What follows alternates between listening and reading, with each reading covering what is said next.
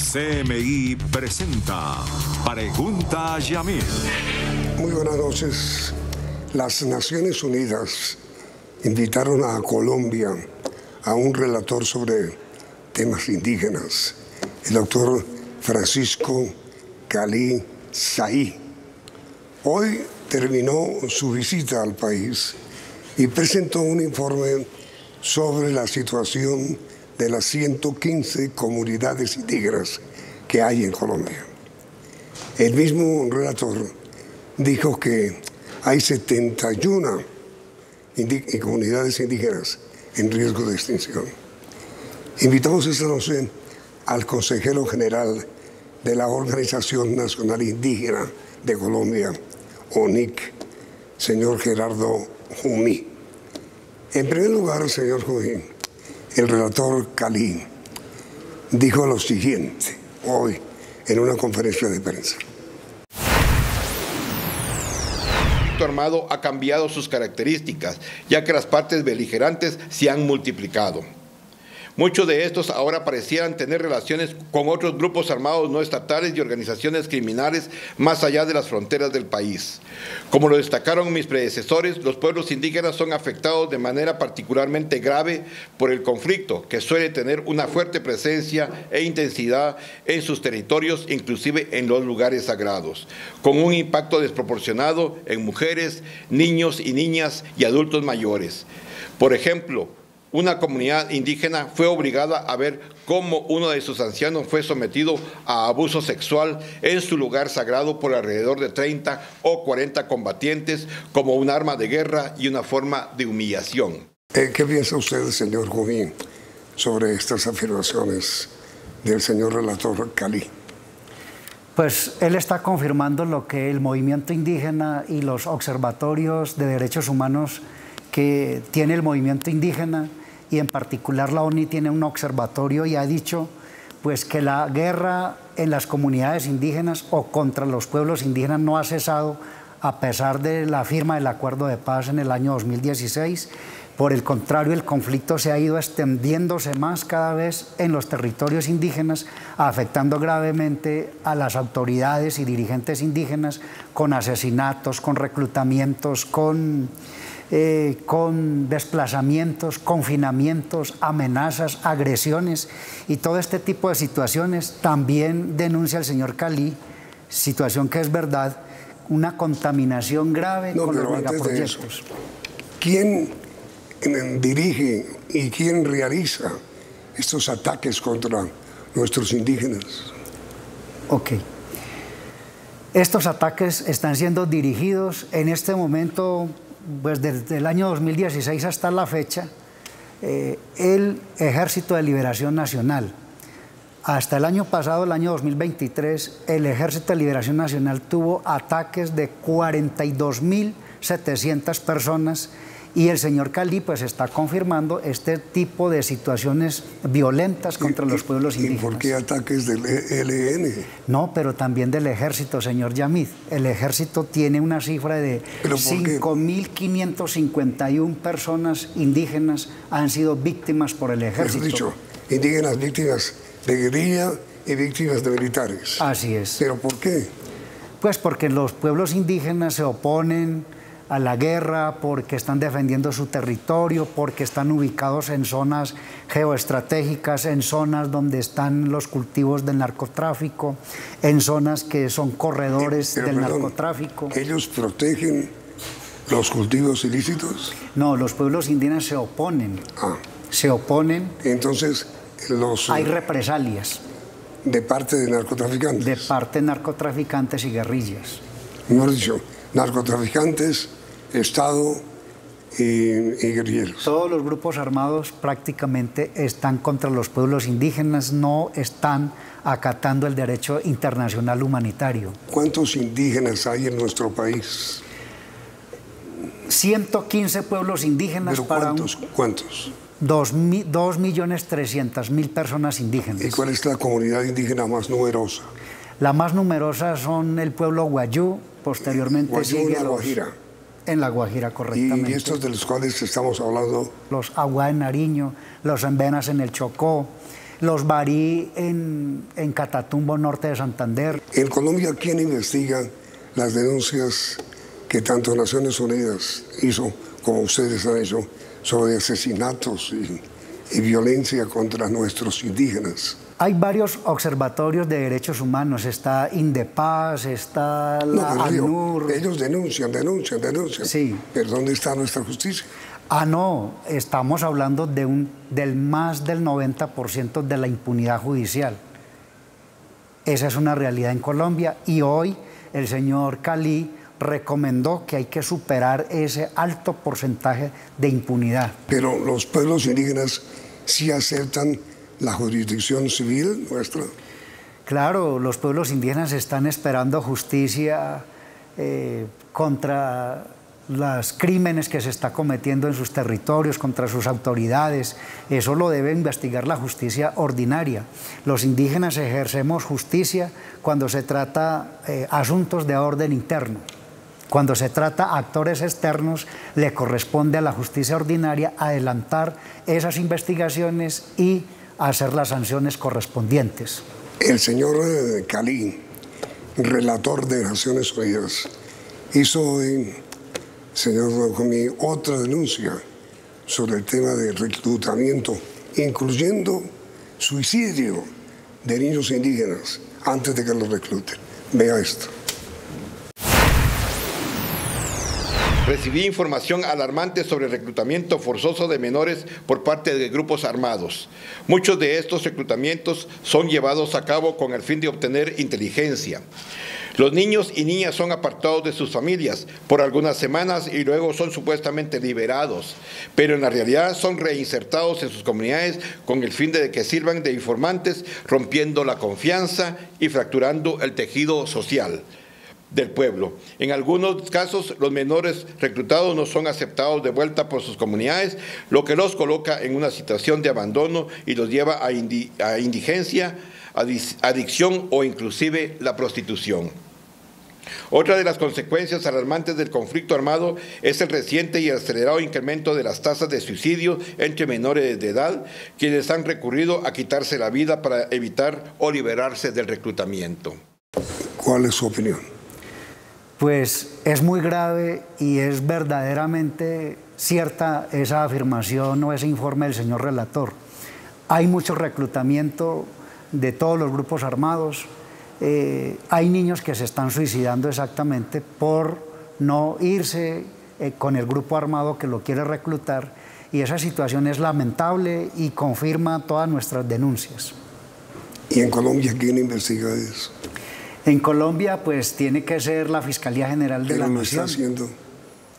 Pues hay un 90% de la impunidad en todo ese tipo, digamos, de violaciones a derechos humanos, al derecho internacional humanitario, de asesinatos y masacres. Todo eso se queda sin investigación adecuada y suficiente y por lo tanto hay impunidad, no hay justicia. Y ustedes en la ONIC, que es la Organización Indígena de Colombia, han logrado confirmar esta denuncia gravísima de los suicidios de los muchachos indígenas, eh, encontrando esa la única manera de evitar el reclutamiento.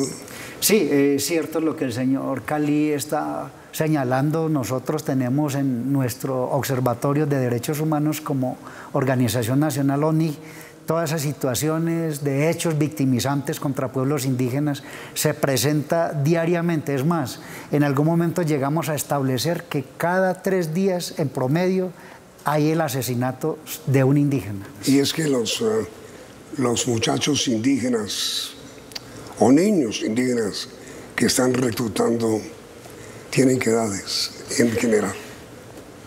A nosotros nos pareció supremamente grave lo que hoy escuchamos, pero, eh, o sea, yo me quiero referir a lo que dijo el señor Cali, que confirma las denuncias. Niños entre 6 y 7 años a 13 años, 14 años de edad están siendo reclutados y algunos pues se suicidan para no esa- someterse en esa edad, en esa edad. Es grave, para evitar ser reclutados. exactamente, para evitar el reclutamiento se suicidan. Sí, esa denuncia la hizo hoy eh, el relator de Naciones Unidas. El Estado colombiano tiene información concreta, puntual sobre ese tema. El Estado colombiano a través de la Fiscalía y los jueces tienen información. Además, el Ministerio del Interior es, digamos, el, el ministerio responsable de la política pública del Estado colombiano de hacer la coordinación y ellos deben tener toda esta información, la Procuraduría General de la Nación, la Defensoría del Pueblo, las Naciones Unidas ya está, imagínense, recogiendo y dando este informe eh, de, tan preocupante, tan grave, que confirma todas las denuncias que el movimiento indígena viene haciendo en el país. Las denuncias que hizo hoy el relator de Naciones Unidas, señor Karim, habían sido hechos, hechas por ustedes antes ante los estamentos del gobierno? Sí, nosotros hemos ido haciendo estas denuncias tanto públicas como también ante la Fiscalía, pero repetimos, lamentablemente la impunidad judicial es más del 90%. Ahora, el, el señor Cali durante su conferencia de prensa hoy habló también sobre la manera como están afectando a nuestros pueblos indígenas la contaminación.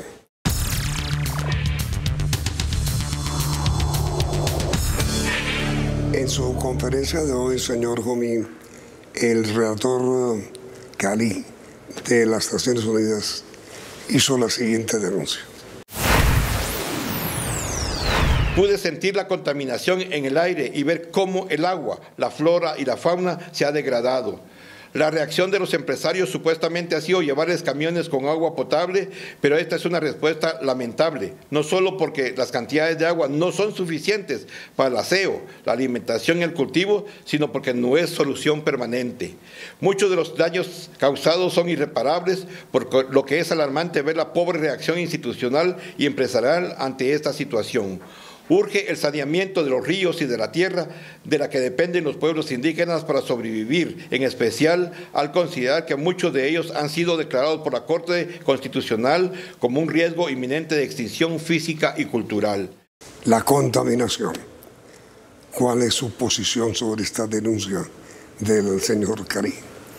Bueno, las denuncias del señor Cali nos parecen pues muy graves, muy preocupantes, pero son totalmente ciertas que nosotros celebramos que el señor Cali pueda recoger toda la información que las autoridades indígenas, sus comunidades, pueblos y organizaciones han suministrado. Y ha ido a escuchar a varias regiones del país de viva voz de las autoridades y comunidades indígenas y entre esas denuncias graves que el señor Cali recoge es que él informa que hay contaminación por los megaproyectos.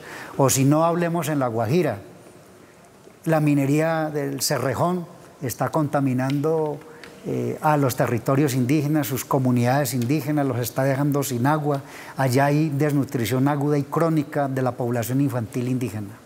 Además, el mismo Estado aquí en Colombia ha denunciado y ha prohibido, después de la denuncia, el uso del mercurio que envenena los ríos de nuestra nación. En otras regiones del país hay contaminación por mercurio, por la contaminación que hacen por la extracción de la minería del oro, tanto legal como ilegal. Eso en varias regiones, eh, por ejemplo en la Amazonía, en el Guaviare se ha denunciado muchas veces por muchos organismos e informes de prensa de que hay contaminación de los ríos y que ya hay afectación en el organismo, en, la, en la piel, y, inclusive hay pruebas de plomo en el cuerpo. Entonces son situaciones graves que están viviendo los pueblos indígenas y yo creo que aquí el Estado colombiano, como su gobierno en cabeza del señor Gustavo Petro, tiene que tomar cartas en el asunto, establecer políticas públicas que eviten más muertes y más contaminación en los territorios indígenas. Y el asunto además es sumamente más grave, con todo respeto, porque es decir, no solamente es la afectación a los seres humanos, sino la contaminación del agua, el envenenamiento de los ríos, la, extinción de todo tipo de, seres vivos en, las aguas. Exactamente, en el departamento del Chocó ha habido denuncias que hasta los peces no se pueden consumir. Eh, las personas se han estado enfermando porque hay unas graves situaciones de contaminación con mercurio. Por la explotación de oro, no ilegal, claro. Exactamente.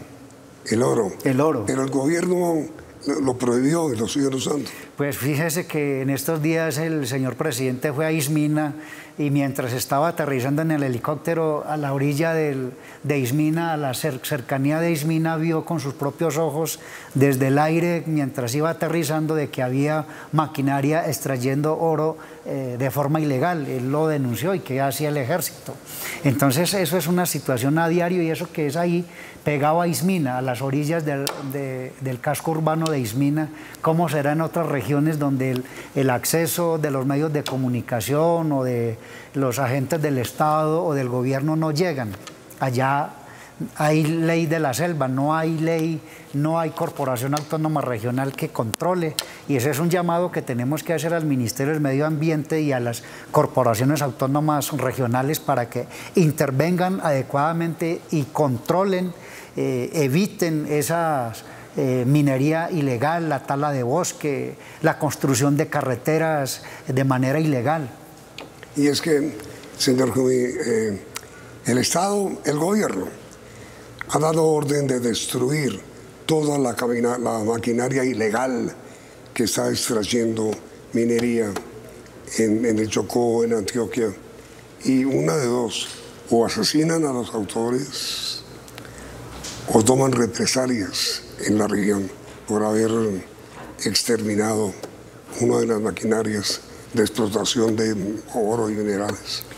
Por estas situaciones, claro, las autoridades y dirigentes indígenas viven y sufren permanente represalias, persecución, amenazas, hasta asesinatos. Ahora, señor el señor Cali, relator de Naciones Unidas, también hizo hoy en la conferencia de prensa una denuncia sobre contratos de duración de 100 años que han obligado a firmar.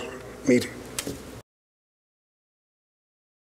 Un caso particularmente alarmante es el del pueblo Nucac, recientemente contactado, que sin recibir el, acompañamiento necesario por parte de las entidades públicas pertinentes, firmó un contrato de bono de carbono por un periodo de 100 años este contrato contiene una cláusula de exclusividad e irrevocabilidad a favor de una empresa privada, violando sus derechos territoriales de manera significativa. Es crucial que Colombia tome medidas inmediatas para reconocer a las autoridades de los pueblos indígenas como autoridades ambientales y adoptar un marco normativo que incluya garantías operativas y ejecutables en consonancia con los derechos humanos de los pueblos indígenas. Además, se debe establecer controles jurídicos específicos para la inversión en el, en el mercado de la energía renovable, el carbono forestal y el programa Red Plus. La adopción de esas medidas es, esencial para garantizar el respeto de los derechos de los pueblos indígenas y prevenir nuevas vulneraciones en el contexto de la transición verde. Desde mi punto de vista, es, eh, podría decirte que es legal porque se, se hizo en el marco de la legalidad. Sin embargo, no es normal que una situación de esta se pueda desarrollar por el hecho de que es un contrato de 100 años. Es una, es, no es una vida, son tres vidas, ¿no? tres generaciones las que van a estar vinculados a esta empresa. No se puede tener un contrato de, esta, de, esta, de, esta, de esta índole y lo que estoy haciendo es un llamado al Estado para que revise este contrato, pueda revertir el contrato porque los pueblos indígenas, si bien es cierto, fue dentro de, por eso digo, dentro de la legalidad, es un contrato ilegal porque no fue consultado, no fue traducido y lo, que les dijeron fue de que si no firmaban ese contrato no llegaría el desarrollo a sus comunidades, por lo cual fue firmado. ¿Qué le parece, señor Judy? Pues nos parece muy grave y es preocupante y, y menos mal que no lo estamos diciendo, ya lo hemos dicho, pero que lo diga el relator de las Naciones Unidas tiene que ser, digamos, de suprema eh, gravedad, pero también tiene que el gobierno tomar cartas en el asunto para evitar que más situaciones se presenten y que se revierta este contrato y recupere el pueblo Nucac su derecho al territorio. Por otra parte, me gustaría que habláramos un poco de las recomendaciones que... Fundamental, esa es la parte final. ¿Cuáles fueron las recomendaciones finales, totales, del señor Cali hoy al terminar su misión en Colombia? El señor Cali hace unas recomendaciones que debe haber mayor presencia del Estado con inversión pública. También está diciendo que debe haber cumplimiento al capítulo étnico del acuerdo de paz firmado en el año 2016 con la extinta guerrilla de las FARC y el Estado colombiano. Igualmente está señalando la importancia, la necesidad de superar el alto porcentaje de impunidad que hay en Colombia. Y finalmente, nosotros como Organización Nacional ONIG quisiéramos recomendarle al Gobierno Nacional que realice una sesión especial de la Comisión Nacional de Garantías de Seguridad para que revise el estado de la seguridad de los territorios y sus autoridades que están siendo amenazados, eh, perseguidos, para que se les brinde la protección tanto colectiva como individual, pero también para que se les vertebre, como dice el acuerdo de paz, toda suerte de grupos criminales que están rondando en los territorios indígenas y que están afectando y asesinando, masacrando y confinando a las comunidades indígenas. Pues hombre, es que a propósito de eso, señor Cumí, el acuerdo de paz tiene, yo recuerdo, un capítulo sobre asuntos étnicos. Eso no se cumple. No se está cumpliendo. Hemos hecho recientemente un estudio ese estudio está indicando que solamente el 11%, el 11% ha habido de cumplimiento, es decir, que el 89% del acuerdo de paz está sin cumplir. Del acuerdo de paz en el punto étnico. En el capítulo étnico, exactamente. Entonces la recomendación y lo que esperamos del presidente Gustavo Petro y su gobierno es que haga mayores esfuerzos para cumplir este acuerdo con inversión social e inversión pública. Eh, ¿Usted qué piensa hacer ahora en adelante? Usted y la ONIC, después de las recomendaciones que ha hecho el relator de las Naciones Unidas. Estas recomendaciones son preliminares, no es la recomendación final. Nosotros como Organización Nacional Indígena, ONIG, hemos entregado el día de hoy un informe eh, abundante de todo el observatorio que tiene la ONI para que el señor Cali pueda complementar su información. Esta información de la ONI coincide completamente con los datos de ACNUR, de OCHA, de INDEPAS, de la Fundación Pares, de muchos otros ONGs y organismos internacionales que están haciendo investigaciones, tienen total coincidencia, de modo pues que el señor Cali tiene, puede tener la total confianza en la información que en el día de hoy le hemos entregado para que corrobore con toda la información y denuncias que ha recibido de las comunidades indígenas, que ha recibido seguramente de las ONGs, pero puede comparar nuestro Observatorio de Derechos Humanos para que su informe incluya estas recomendaciones y le pueda presentar al gobierno colombiano, al señor Gustavo Petro, para que él estas recomendaciones de las Naciones Unidas a través del señor Cali la pueda implementar para aliviar un poco los dolores y sufrimientos que están viviendo los pueblos indígenas por cuenta de la violencia. Y, mire, señor, este emblema o ese atuendo que tiene usted ¿Qué significa? Este es un símbolo de identidad, de espiritualidad y del territorio. Quiere decir Ocamá. Ocamá quiere decir el camino ya está tejido y construido. El camino de la nación en verano de Colombia está construido y está simbolizado, representado en este Ocamá. Y pues este no es el único símbolo y tejido, hay muchos otros símbolos. Ah, ustedes, pero eso Usted es en Verá. Yo soy en Verá. No se dice en Vera, sino en Verá. En Verá, es digamos, la, la, pronunciación correcta. Estamos en 18 departamentos. Pero fundamentalmente en Antioquia, ¿no? Yo soy del departamento de Antioquia. Estamos en el Chocó, en Risaralda, en Caldas, en, en el Valle, en el Cauca, en Nariño. ¿Y cuánto hace que vive, usted vive en Bogotá? No, pues yo me residencio en Bogotá, pero yo soy de, del resguardo en Verá, Jaiducamá. ¿Pero vive allá o vive aquí? Yo vivo aquí residenciado, pero soy de allá. ¿Y allá se atienden las necesidades del pueblo de Verá? Allá vamos a visitar a la gente, a varias otras regiones, a Córdoba, a Caldas, al Valle, a Risaralda, al Chocó. ¿Y usted tiene esposa e hijos indígenas o ya occidentalizados. Occidentalizados, pero también en Verán. Tengo hijos en Verán. ¿Su esposa es en Verá? Sí, ¿Y sus niños también? también son en Verán. ¿Nacieron allá o aquí? Nacieron allá y algunos han nacido ya en la ciudad. ¿Y usted- ustedes tienen una, un lenguaje especial en Verá? Sí, yo hablo la lengua en y- Una sobia. Yo estoy muy contento porque usted es una persona solidaria con la causa nuestra. ¿Y en, en su familia hablan en Verá o hablan en casero? Hablamos el en Verán, sí. ¿Con sus niños y con su esposa? Claro que sí. Eso es un patrimonio que nosotros tenemos y tenemos que continuar defendiéndolo. Bueno, señor Jumi, le pido, por favor, que en idioma en verá, en lengua en verá, despida nuestro programa y agradezca la sintonía. Muna sobia vida yamid buana manda hijare banumu bari. Mamana harajaina CMI tatiaka damani. Y a ustedes les agradecemos la sintonía y los invitamos a continuar aquí en CM. CMI presentó Pregunta a Yamil